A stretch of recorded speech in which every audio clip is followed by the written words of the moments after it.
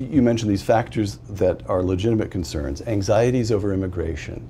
Now, again, one will hear over and over again, uh, the American anxiety over immigration is xenophobia. It's just, it's mm. just immoral to, to, to think you can draw a line at the border and keep out the, the people in the south of the border have mm. immortal souls just as mm. those, well, of course the liberal would doubt that, but they're worth, they have as much value as, mm. all right. then the other bit one here is, is it just economically?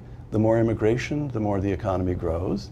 And then a kind of counter argument, but still it's the argument against the, the concern for immigration. Um, immigration has slowed as Mexican as the Mexican middle class has risen, and mm. partly because our economy is slowed. Mm.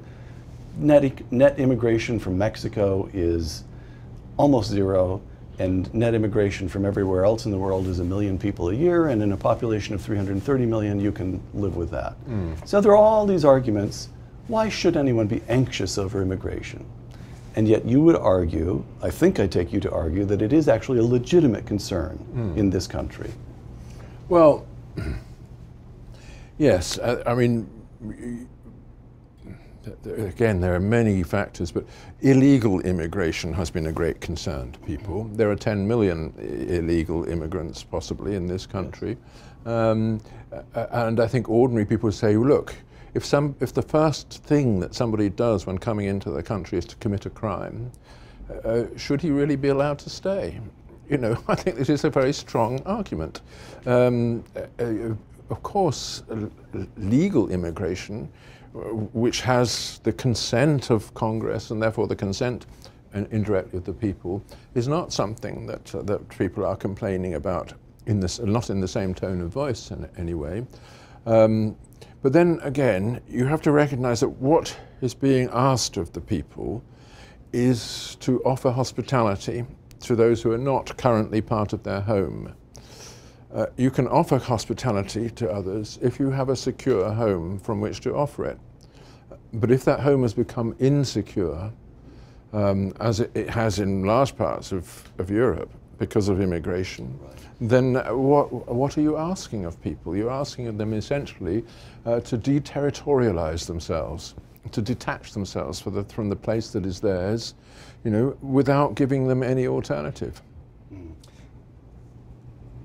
The spread, another of the concerns that you mentioned, I'm quoting you again, the spread of liberal conceptions of sex, marriage, and the family. Mm.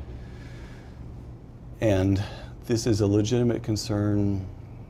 It, here's the difficulty about that one.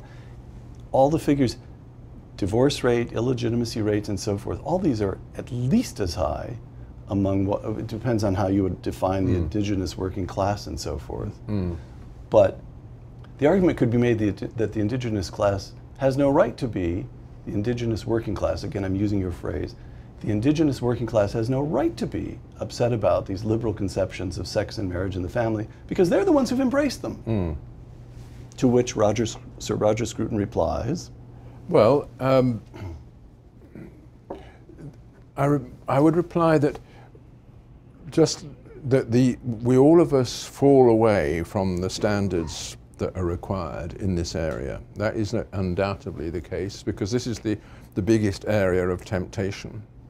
Um, but it is also the biggest area in which examples are needed and in which a culture of resistance is needed. That culture of resistance was absolutely vital to the protection of the working class family uh, and, uh, and especially of children uh, you know, who, who, need a father at home uh, and have lost that protection. Um, and it is undeniable that it's liberal propaganda which has made it almost impossible to say the, the, those things. And it's not possible to say the things uh, that are needed in this area unless you're Charles Murray and don't care about what's said about you anyway. Or Sir Roger Scruton. Well, uh, yeah. That I mean, makes two of you. Yeah, exactly. uh, the, the point is it's an area in which the truth has been made unsayable by the, the uh, liberal censorship. All right.